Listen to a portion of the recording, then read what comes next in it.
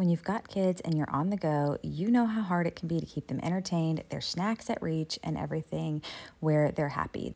This little device will slip down into most cup holders on car seats and booster seats and keep your kid very happy holding their snacks and their devices while you're on the go.